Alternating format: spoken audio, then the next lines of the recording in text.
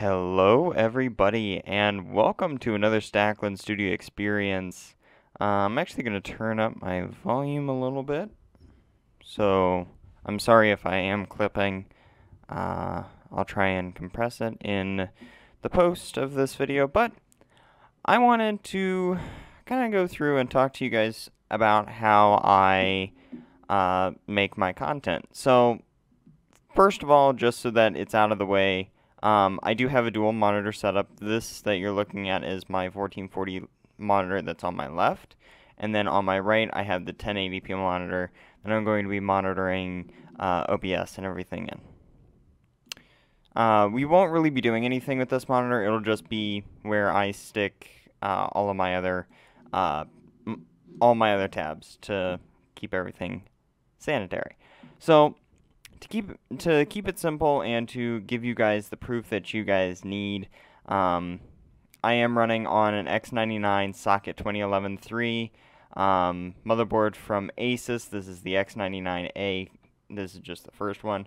I'm running at 32 gigabytes of DDR4 from uh, Corsair, and this is running actually at uh, 2400, I believe, when it takes off as you can see uh, here and over here in the actual Windows Task Manager, I have the Intel Core i7 uh, 5820K, and I do have it clocked at 4.08 because if I clock it any higher, I I can't run my system, and I think that's just because I didn't win the Silicon Lottery.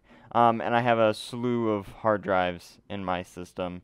Uh, so this 30 gigabyte, don't worry about this. This is actually uh, just my uh, my SD card. So don't worry about that one. Um, you guys don't need to worry about that.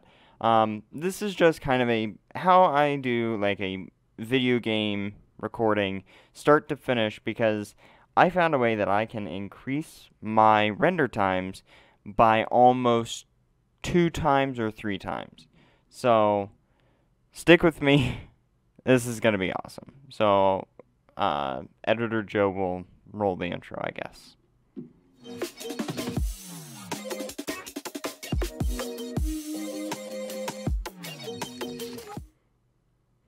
All right. So to start, we have I have on my system, and I still have the uh, Piriform Speccy and the Task Manager open.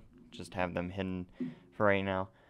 Okay, so what do we do now? Uh, well, as you can see here, I have an Elgato capture card. So I'm going to launch Elgato Capture Suite. Um, you guys can launch whichever suite you have, respectively. Whether you have, uh, you know, the AverMedia Capture Suite or the Hauppauge Capture, capture Suite or the Elgato Capture Suite or whichever capture suite you're using, go ahead and open that in your computer, or at least that's what I'm doing. Um, now, in my capture suite through Elgato, I can choose to title and give it a game name. Um, so I guess we're going to be playing Black Ops 3 because that's the last one that I did.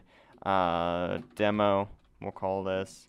And then uh, what I do is I just click on this and then move my mouse off to the side and then for this instance, I'll be clicking on OBS, and that'll make the screen go into full size so that I don't have to worry about it. Now you'll notice that my start menu has completely disappeared, but if I want to bring that up, all I have to do is hit the start key, and it'll just go away again. Again, this is a native full screen app in Windows, so you can't really change that, again, unless you hover over it, which then it'll bring up your minimize, maximize, and uh, escape options.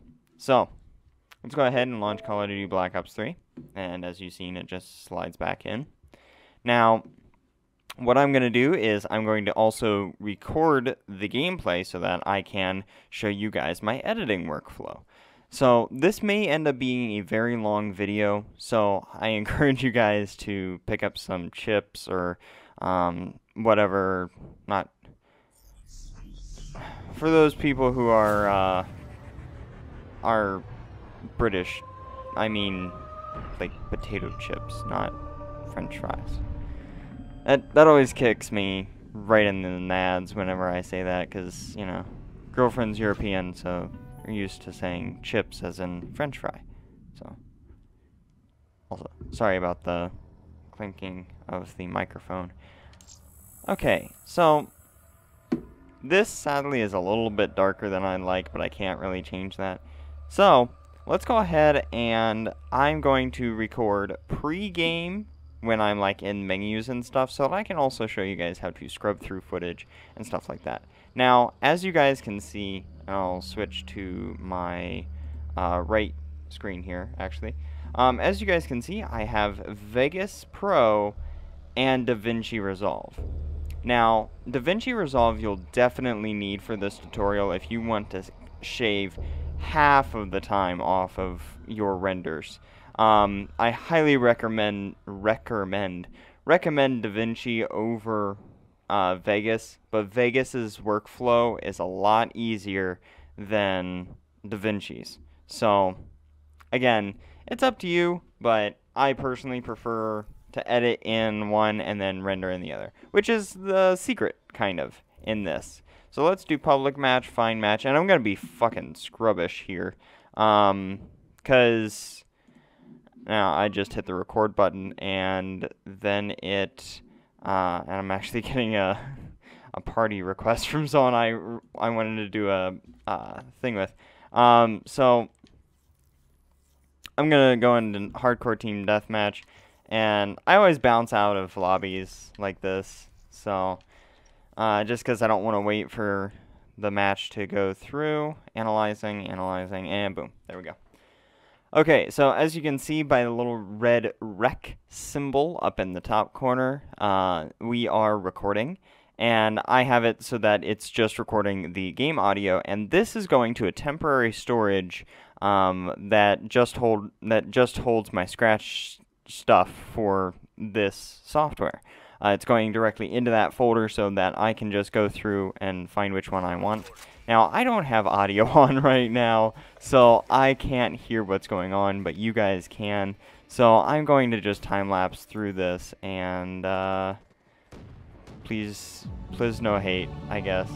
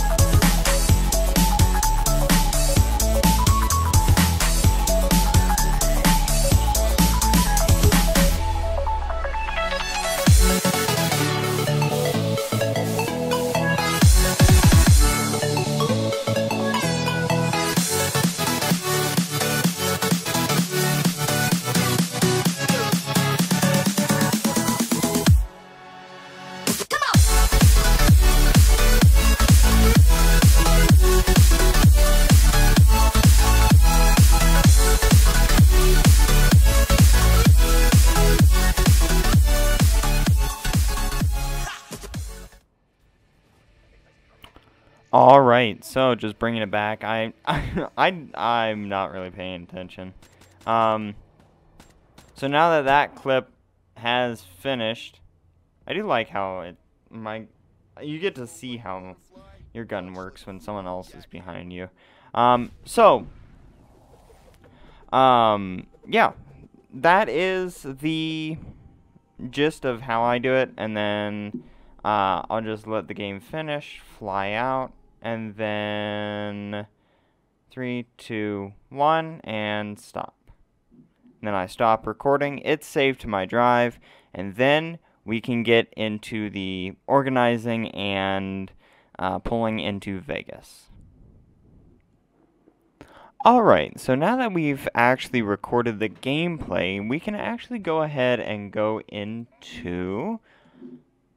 Not this, because this is Infinite Warfare. Uh, but we will, I have a projects folder. And what I'll do is I'll create a new folder. And I have um, R, E, U, S, C, and D. Uh, R means record, E means edit, uh, U means upload, S means series, C means canceled, and then D, D is where it's all at, D is done. That's where it's completely finished and I have nothing to worry about anymore. So this will be edit and then I put a space and then I just do, I'll just call it demo. Video. Okay. So then I will open this up in a new window. And I have over here in my projects folder the dump and sort, which is all of what I'm recording here. And then I also have my default folder, which I still actually have to copy two, two, uh, two videos into. But I have my main intro. And I have to go into New Vegas and uh, I think I have it here. Yeah. I have the outro and then transcend musically, which I'll actually copy these back into default so that I don't have to worry about them missing again. So I'll copy those into this folder. Now, because there wasn't any audio, I will need some music to put behind it just so that people don't get bored. For that, I just go to my video stuff, YouTube, and then I go to Magical CC Music, music to listen to, or since this is an older list, um, I don't really need to worry about this folder. Um, I'll actually go to Stuff, Twitch, Music, and then this is my updated music list, which you guys can actually check out. Now, I have it sorted by length, so the video that we're looking for is going to be a longer clip. So we want to get something that's long, yet doesn't blast away, but also feels that it's strong. Uh, has a high uh, beats per minute, so that it doesn't lose the feel.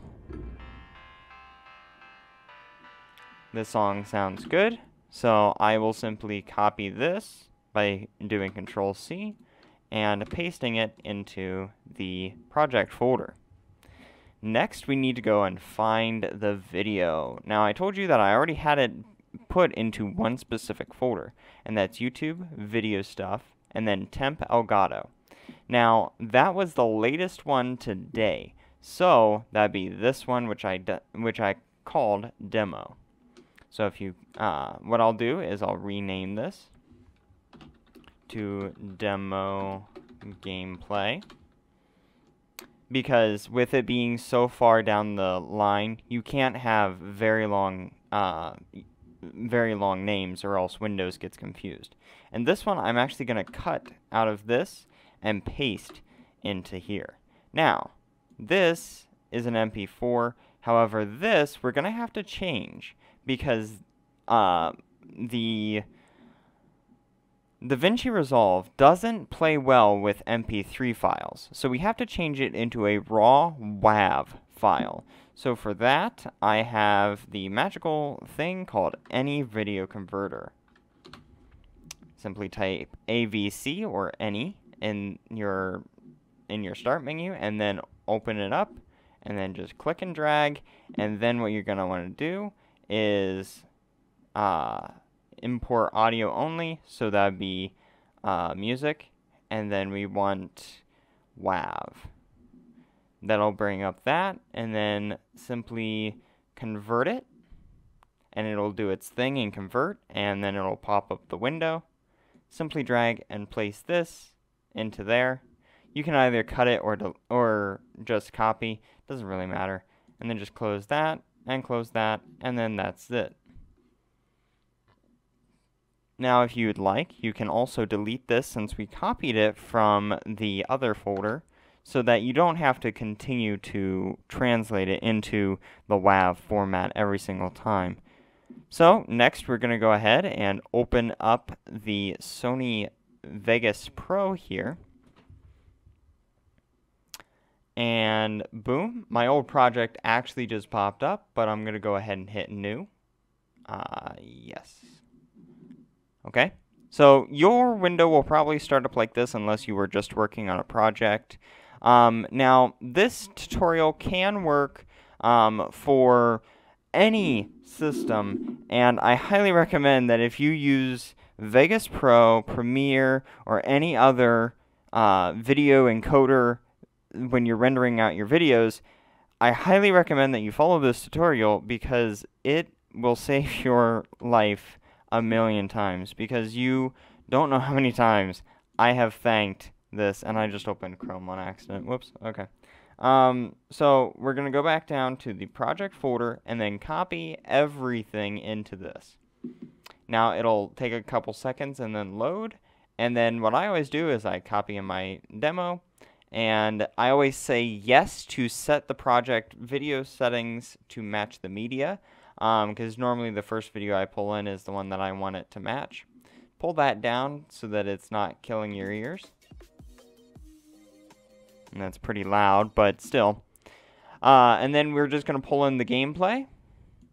Move the gameplay to a separate audio track. And we want to unlink the video from the audio.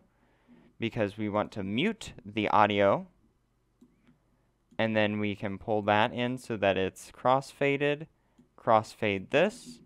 And then we can pull in our music which seems to be slightly short. But this is okay because we can have a crossfade in and it will last. Oh, that's right. It may not be because remember, we started recording at the beginning. That's where my friend sent the message to invite me. And here is actually when we got into the game. So you can base this all on the uh, audio track down here.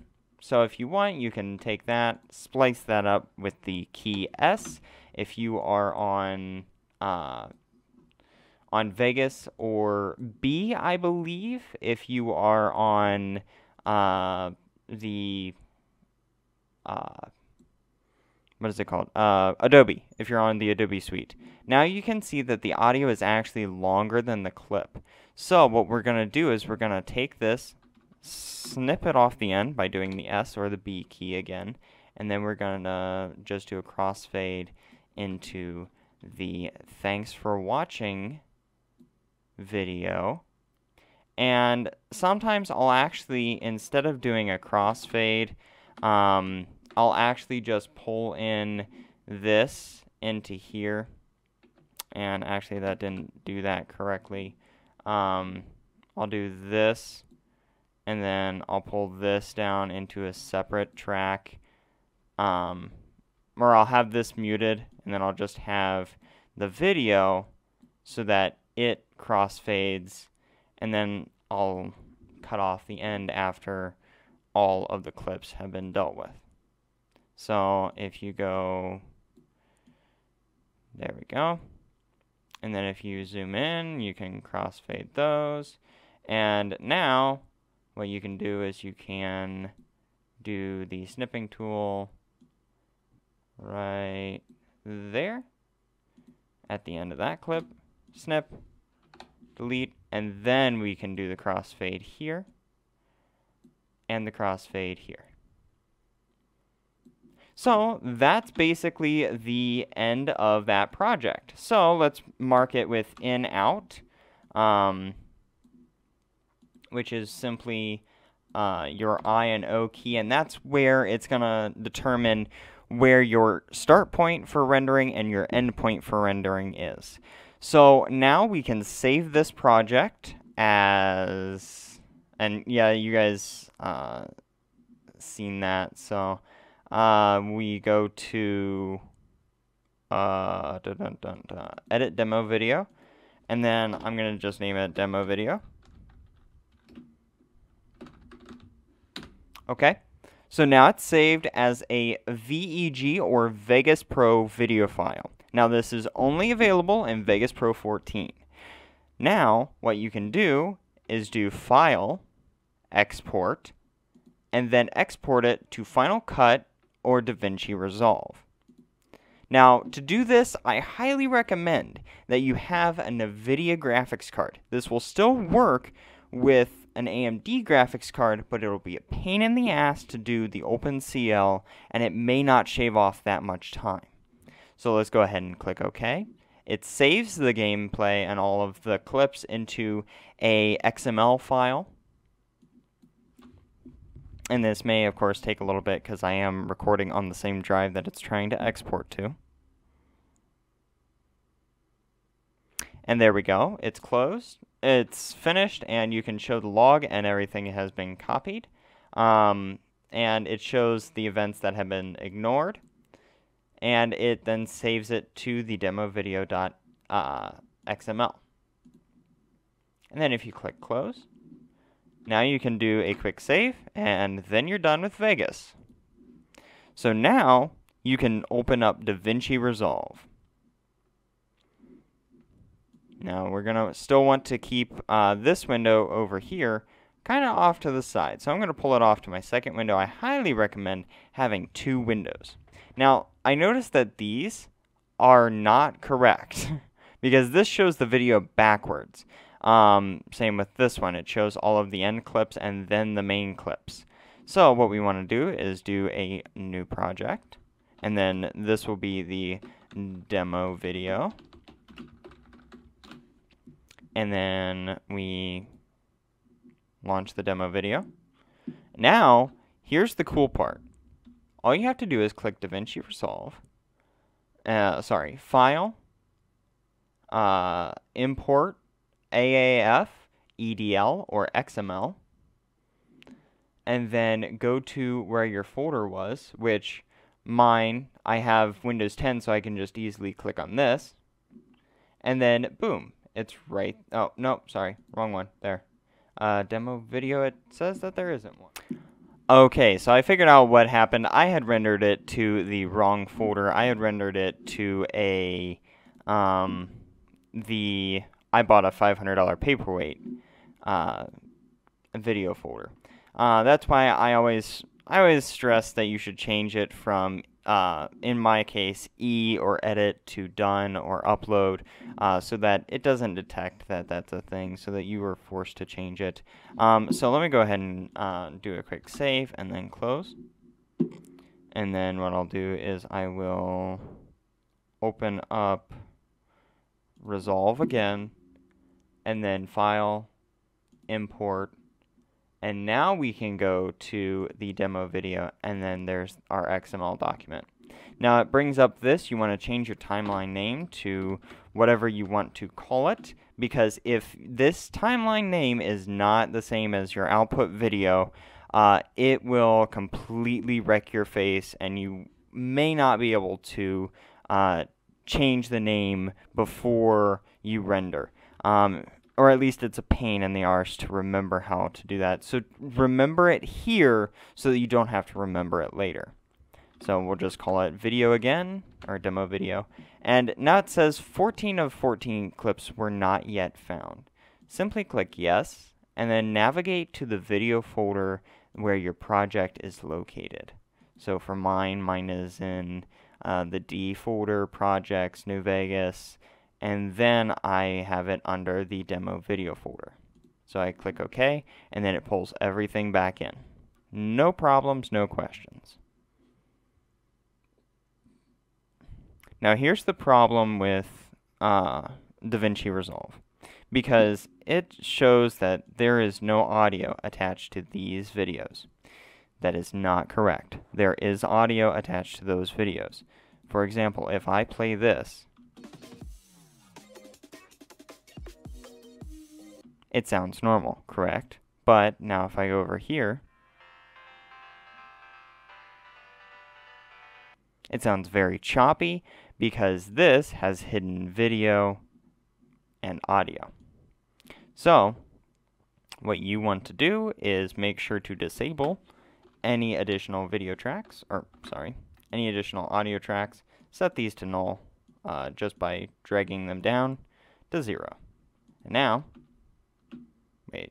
Wait a minute.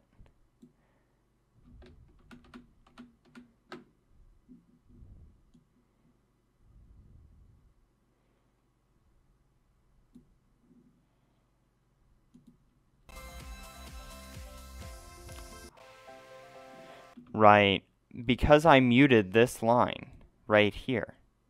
Everything is actually proper. So it may work and it may not. You just have to be careful um, when you're editing and take that into account in the case that it does. Um, so what will happen is that you will hear a double audio on your intros and outros. So for example, let me go over here.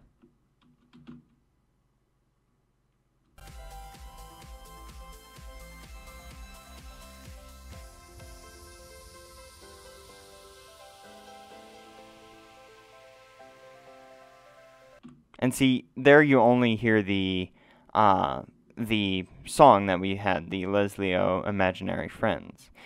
However, sometimes you'll hear your outro's theme as well as, you know, whatever clips you have.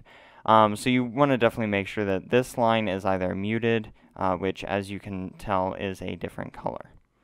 So with that out of the way, everything seems imported.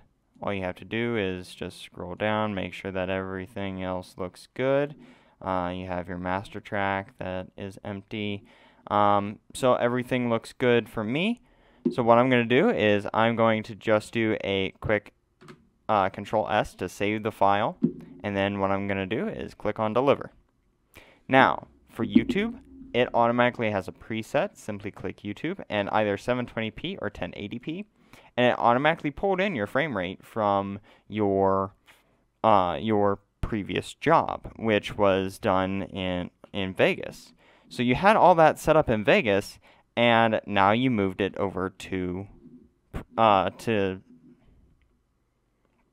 you had everything done in Vegas and then you moved everything over to DaVinci, so everything was copied. I do all my videos in 1080p, which means that there's twice the frames that have to go into it, twice the pixels. Um, you also want to make sure that your in-out points are still selected, which by default it automatically selects all the timeline, uh, but you do just want to make sure, uh, just in case, because that can be a little scary if you've uploaded your video and then you realize, oh crap, I didn't upload all of my video, and then you have to go through and re-render. But actually, I just realized it doesn't matter because if you have a CUDA enabled card, which is any video card from NVIDIA in the last like two or three years, um, you will be able to use this. So simply go into, uh, the only thing that you have to change is your audio. Change that uh, from linear PCM to ACC. No one uses linear PCM. Uh, simply go back to video. QuickTime is fine. It, it doesn't really matter. Um, QuickTime is your .move format. Um, and now that it's built into most programs, you don't have to have QuickTime on your system anymore. I don't.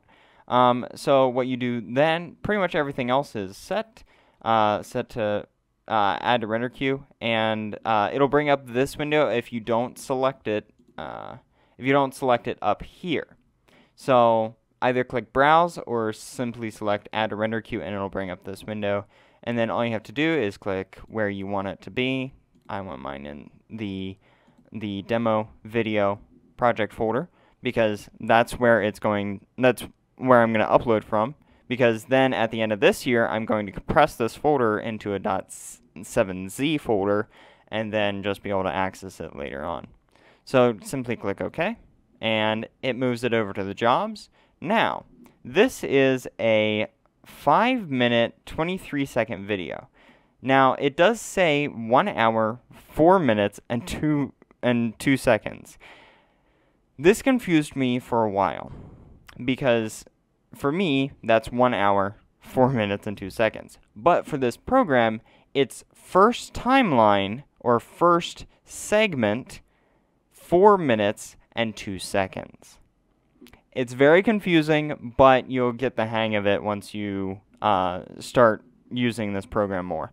Um, again, all you're using this for is to render out videos. And again, DaVinci Resolve is completely free. So it does have a good editor, but I don't use it because it seems too professional. I know that sounds petty, but okay. So the video duration is 5 minutes, 37 seconds, and 3 nanoseconds. Okay. So let's click Start Render, and boom!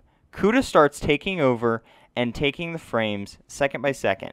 So if you look up here, uh, I'll go ahead and speed up this video so that you guys don't have to sit through this. And also because we're rendering and uh, and also recording at the same time, it may take a little hit. So do know that performance may differ and it should actually be faster. All right, so I do have to say uh, I actually had to close out of the uh, recording simply because uh, I could not have the the recording when I was recording. It was just going so slow, and I could almost see every single frame. It was quite pathetic. So, but the point is that this completed in six minutes and twenty four seconds. So let me go ahead and open the same project. Okay, this is the same video in Vegas. And this is without CUDA acceleration. And let me go ahead and I'll render it out. Render as. Now, I am rendering as... Um, okay, so I'll render this out to the exact same file or folder. Um, but this is going to be an MP4 rather than a MOV. So it should hypothetically be more, uh, like more optimized for YouTube, hypothetically. So, uh, and just to show you guys the render settings, uh, this is what I have right here, audio system. I cannot change the settings for uh, video encoding for CUDA acceleration anymore. So if I click render, it is just using the CPU. So I'm going to pause the video and come back when it's finished.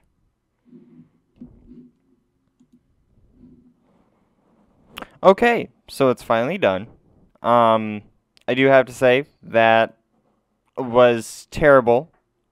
Um, also, this was all the way up to 72 degrees Celsius, and for those of you who don't know what that is, I'll put it like over here in post uh, so you guys can understand how hot that damn CPU was.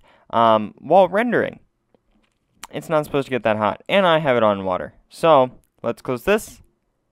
14 minutes and 57 seconds. So, you have you have to kind of think. So this one took um, six minutes, essentially. And then this one took essentially 15 minutes. So if you put the six with the five minutes that it took you really to um, export it and make sure all your audio was okay and everything, you are still saving about anywhere from depending again how fast you can uh, save and ex and port port it over into um, DaVinci. You can save anywhere from five to six minutes rendering. All because you click okay, let you do save, you save the project, and then you click one, two, uh, three, four, five, six buttons and open up DaVinci Resolve and open a new program. So six buttons can save you four to six minutes, again, depending on how fast you can pull it in. All of that. And you don't have to worry about getting a new workflow. You don't have to worry about uh, changing up how you do things. And, and it just works.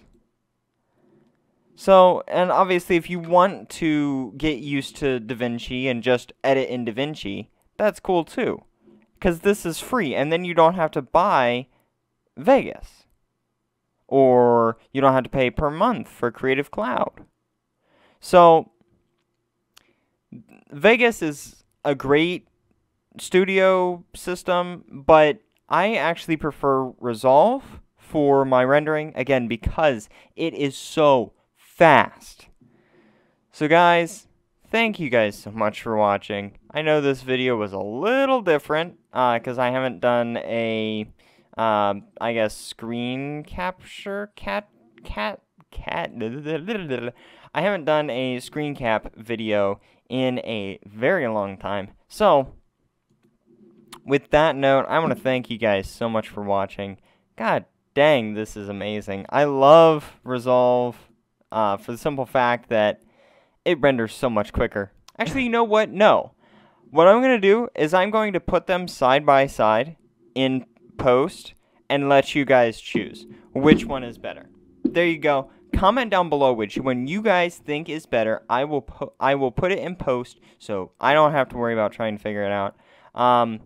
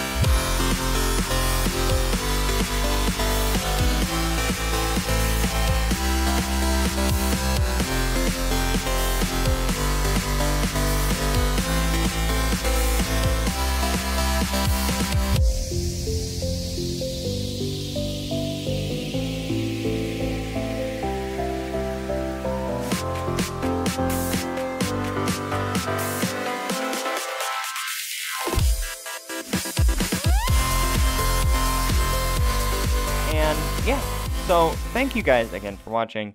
This has been my workflow. I know it's a very long video. I'm sorry, but I had to get it off my chest because this is just... this is a very long video. Um, but I don't have to worry about rendering times because DaVinci. So thank you again for watching. Don't forget, stay loyal, stay subscribed.